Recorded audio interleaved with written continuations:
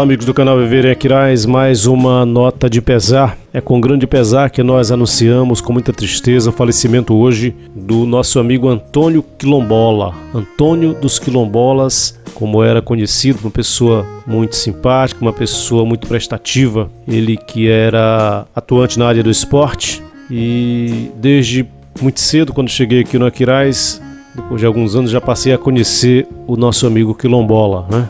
Ele era também afeito a projetos sociais, ele era gostava de dar sua opinião, gostava de estar é, exercendo a sua cidadania.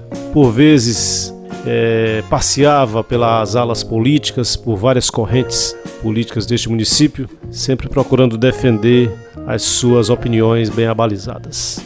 Muita gente conheceu o Quilombola, muita gente trabalhou com ele, muita gente esteve lado a lado com Antônio Quilombola em comemorações da cidade de Aquiraz vivenciando a cidade de Aquiraz. Quilombola que gostava de estar inserido em projetos da comunidade, em projetos sociais com a juventude, deu sua contribuição para a nossa cidade, o nosso município. O apelido Quilombola vem exatamente da sua origem, lá na localidade de Lagoa do Ramos, onde está a comunidade quilombola, ele que era daquela família, mas que durante muitos anos já morava aqui na sede do município de Aquiraz. Um símbolo para Aquiraz, é uma pessoa simbólica, pessoa que deixa com certeza uma lacuna no nosso município. Dentro das suas possibilidades, tentou fazer do mundo à sua volta um mundo melhor e por vezes conseguiu até certo ponto. Né?